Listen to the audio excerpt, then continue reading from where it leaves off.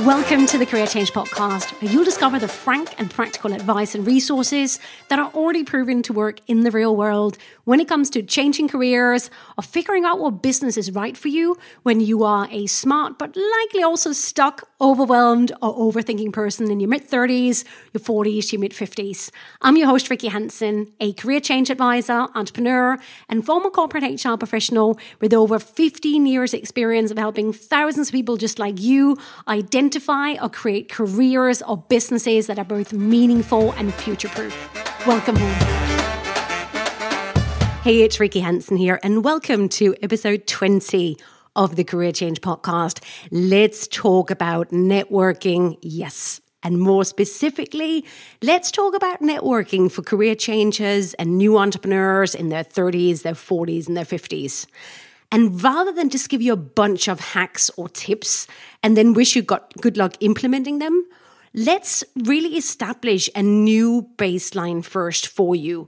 Like in this particular episode, I really want to help you change the very definition of networking and hence help you change how you think about networking and more importantly, how you actually feel whilst you're doing it in a way that's going to make you feel like doing it.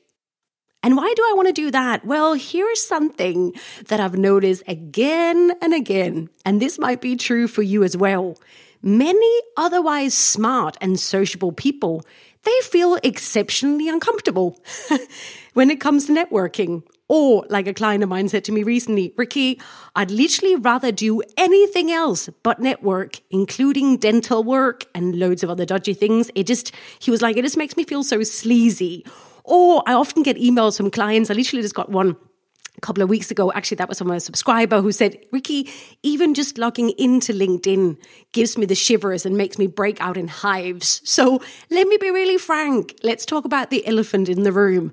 I totally get if that's how you feel too about networking. It makes you feel sleazy, you don't like it, you rather do anything else. So let me tell you the good news right up front. What I recommend is not like the old school traditional networking because actually, traditional old school networking doesn't tend to be very effective anyway, especially if you are a career changer or a new entrepreneur over 35. Phew. Can I get a sigh of relief from you? I promise you, no more sleaze or clammy encounters. Let's only do what's really worthwhile. Okay. So keep listening because here is the kicker and what I want to make sure that you are aware of so you can actually make networking work for you. Done right. Networking, I can promise you, is one of the tools that can fast track your transition into a new career or into your own business faster and more powerfully and more enjoyably than almost anything else, however, only when done correctly. Because let's let's get honest about this. Because what I what you probably noticed is that the kind of networking you might have been doing up until now, it's not working for you and you don't feel comfortable doing it. Honestly, I totally get that. So, when I first started my own business, my career transition consultancy back in 2005, I used to do the old school style networking too. And very quickly, I realized that I did not enjoy that, nor did it get me the results that I wanted. And I tell you, it wasn't my cup of tea. And I'm, a, I'm an extreme, as you can probably tell, I'm an extreme extrovert. I love meeting people. But most of that old school networking, it just didn't appeal to me. And like I said, it also didn't get me the results that I wanted. So why should I waste my time? And I've also I've always been very protective of my career change clients, of my entrepreneurial clients. And I can I've totally seen over the last 15 years how traditional networking did not make them happy either. So I've literally spent years developing and testing on real people so, real results in the real world and teaching networking approaches specifically for career changers and new entrepreneurs over 35. So, what I want to do in this episode is share some of the foundational principles that my clients have told me they found most empowering. And this is, like I said at the beginning of this episode, it's really first and foremost about how to think about networking and how to define it so that it works for you. So you can also try these ones on and you can fast track your transition too. And the good news is that my approach works whether you are an introvert or an extrovert. My client group tends to be split into sort of 50 50 introverts, extroverts. As long as you deep down actually like and respect other people because that's key. Let's face it, if you don't like other people, I can't help you. but as long as you deep down actually like and respect other people, then this approach will absolutely help you. And it's really key because opportunities come through other people to a very, very large extent in the career transition process. Process. Nobody should be an isolated island when it comes to transitions. We need to build bridges. We need to set up routes to connect. And networking is literally the highway to a lot of what you want. All right. Let me tell you right up front the most important way or manner that I want you to think about networking in only connect with people you actually genuinely want to connect with. Let me say that again because it's so key. Only connect with people you actually genuinely want to connect with. I recommend only connecting and networking with people you actually want to connect with in the first place. That is the only way to feel truly authentic and non sleazy around it. We really want to move away from this kind of traditional transactional networking towards focusing on building relationships. I mean, here's my big, you know, here's what I really noticed. A lot of people, they approach or think they have to approach networking like a nightclub at 4 a.m., you know, purely transactional and short term and reeking of desperation. Let's leave that behind, my friend. we never enjoy that anyway. Let's leave that behind and instead focus on building genuine relationships you actually want to be in and can be yourself in. And it's going to stand the test of time. Doesn't that make you feel better already? All right. So let me give you three tips for how to do and more importantly, think about this, how to make networking work for you as a career changer, as an entrepreneur. Number one is to replace the word networking with building a new group of friends. Okay, so we want to redefine networking. And if you are a regular listener of the Career Change podcast, you know that I often say that it is so important that you make sure that definition you have of important things, it empowers you and your transition. And here's the deal everything is up for grabs. So let's choose a definition that's actually going to work for you, especially as we discussed already, old school networking. Let's leave that shizzle behind, okay? Number one, let's replace networking with building a new group of friends. Because here's the deal what does a network really consist of anyway? It consists of people, right?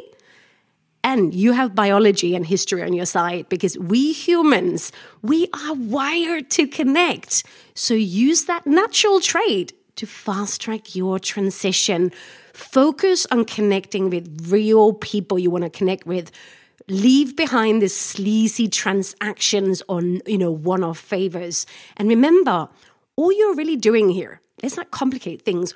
All you're really doing here is just connecting with people connecting with people you truly want to connect with. And here's another thing that I've worked really well that I uh, encourage my clients to do. Really focus on people who could also double as friends like make friends. And i'm not necessarily talking about best buddies or soulmates but ideally they're somewhere positive on the friendship potential scale. You know everything from collaborators to joint venture partners to facebook group friends etc people you actually want with you as companions whether they're near or far on this amazing journey called life. So much of what life is about is who we share this with. Okay. And now you are moving from one career or one job towards another or your own business. So you should actually want to build a new group of friends in your new field. That's one of the beautiful things that I've definitely noticed, and a lot of my friends have noticed. One of the most beautiful things about the career change journey, the entrepreneurship journey, are the new friends you make. They're just, why would you not want to do that, right? So forget about traditional networking. What you need to do as a career changer or as a new entrepreneur is to build a new group of friends who can help you with your transition or with your new business because they are already well plugged into the arena you want to get into too. So, what we're going to be doing now is just to go out there and you're going to make friends. And the key here is especially to make friends who are already well plugged into the arena you want to enter into. Plugged into means they're well connected, they have a great, net, great network themselves, and also they actually want to be there. They like what they do those are the people you want to focus on. So move away from this transactional one night stand, 4 a.m. nightclub mindset towards building and nourishing longer term relationships. And don't delay, get started now on this journey, okay? So, just a reminder number one is to replace networking with building a new group of friends. Number two, and this is key, number two is to network like a career changer or network like an entrepreneur, not like someone who hates their job. Let me say that again. It's key that you network like a career changer or an entrepreneur, not like someone who hates their job. So here's what I mean by that if you are in a job right now that you don't enjoy, or if you are in a professional industry that you really do not give a flying fart about, or if you still haven't decided what you want instead, then probably the kind of networking you've done so far or doing right now has probably felt or is feeling really embarrassing or uncomfortable or sleazy, like you did not want to be there. But what I want you to do is take a moment and just see how much of your resistance or definition of networking is actually directly connected to the experiences you've had in that very profession that you so badly want to leave behind, right? Like a client of mine I literally spoke to recently about this. He was like, Oh, I don't want to do networking. He still literally had flashbacks to he was an accountant to a bunch of tax accountants in stiff polyester suits, you know, poking at each other with business cards, like a, you know, that scene out of American Psycho. None of them really wanted to be there. They all hated their jobs and their bosses, and they all knew they were just at these kind of events, so they could hopefully find a job they would just hate a little bit less, but they probably didn't want it anyway. Ugh, sleazy, horrible, embarrassing, didn't want to be there. But let me remind you of something absolutely vital. If you are wanting to change careers or to start your own business, I am hoping it's because you are actually wanting to move into a line of work or a profession or an industry where you truly have an interest in the subject, right? You are passionate about it or you are highly interested in it. You want to talk about it. You want to know everything you can about it, i.e., you actually give a feck about it, all right? And you should therefore want to connect with other people in that world. Those are the only people you should want to connect with and make friends with in that new world. So remember, you're not asking someone to give you a job you hate or ask them to become your client or give you money now. You're not going to ask or talk about a subject of a profession that you don't care about or that you have no interest in. Instead, you are now going in to make friends in the industry you want to move into or build a business in. You're connecting with people you truly want to connect with and make friends with. And that's the difference. Remember, now you are only going to look for people who have that non sleazy, passionate interest in common with you, that new thing that you love. That is what you connect around, my friend. Nothing to be embarrassed about, right? And that's really the amazing thing when you find the right career, the right business for you. You want to connect around it, you want to make friends in it. You know, you you it's and also what's so great, then it's not just about you. The focus is not just on you, it becomes about the interest, the subject, the industry, the client group. That's what you connect around. So it sort of shifts the light away from you and makes it so much easier. Now, if you right now are at the stage that you haven't yet decided what the career or the business that you want to move into next to start is, then I do want to let you know that I do have a program that will help you nail down what the best career change and business options are for you. It's called your career change map. If you want to know more about that, then come over to thecareerchangepodcast.com and ask me about it. All right. Now, but that's really number two, which is network like a career changer or entrepreneur, not like someone who hates their job. Look forward, my friend. That's really what this networking approach is about. It's about networking for that thing you really want, care about, are interested in. All right.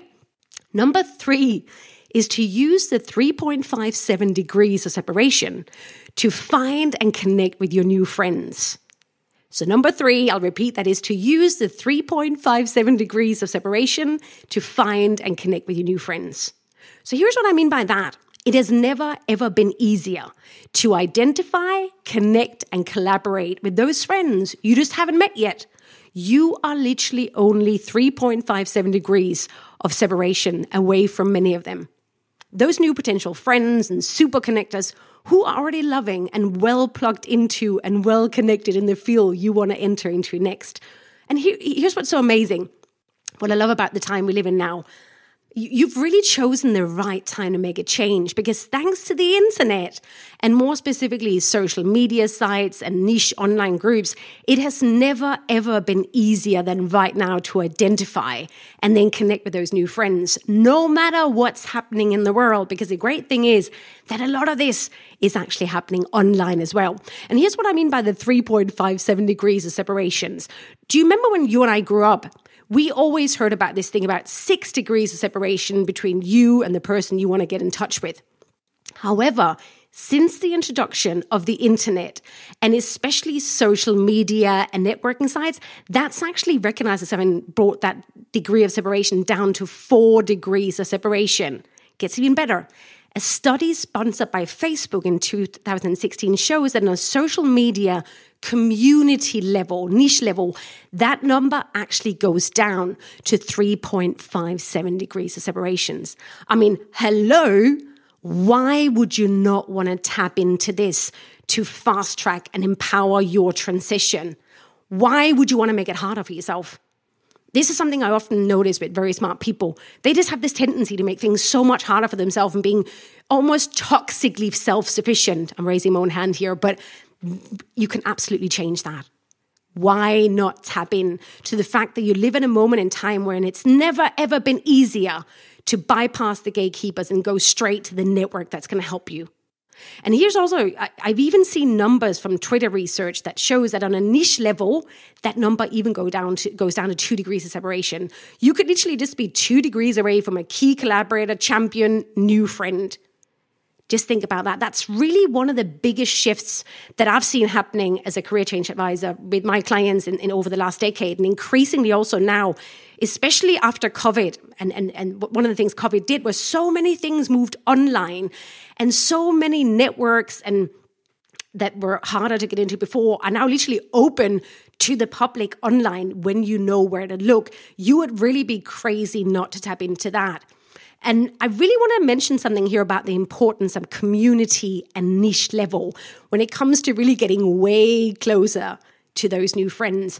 The more specific you can be about what you want to do next and who with, the easier it's going to be using the right tools to identify and connect with your new friends who are also going to double as a network to really make your career change happen. So get specific I'm really big on this with my clients when I work with them. Because just think about this for a moment. Once you get clear about what you actually want to do, and you're really niching down in terms of the specific service offering, or specialty, or client group, or industry niche, then you are going to be much easily able to connect with and identify the most amazing network, the most amazing friends out there who are already in that similar industry, similar business, similar career, so you can reach out and collaborate right? Who you can start following, interacting with, looking at what events are going on, what kind of things can you start tapping into. So get specific and don't be afraid of niching down in order to make finding these connections easier. This is something I often see when people decide to start a business. They're almost like afraid of niching down.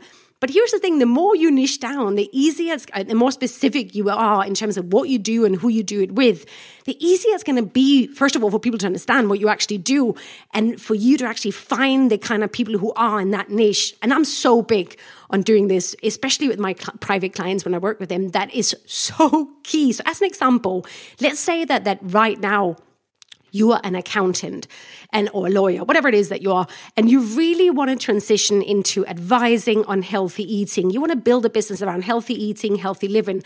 Now, the sooner, you know, that's really, really broad, but the sooner you can niche down, And it doesn't mean you cannot broaden out later, but the sooner you can niche down and get specific as to what kind of healthy eating that actually is, let's say gluten free or paleo, or what kind of client group you want to work with, let's say menopausal women or teenagers suffering from eating disorders, the easier it's going to be to find and start connecting with the right kind of people, be around them, make friends with them. And the sooner your career change is going to take off, the sooner your business is going to take off.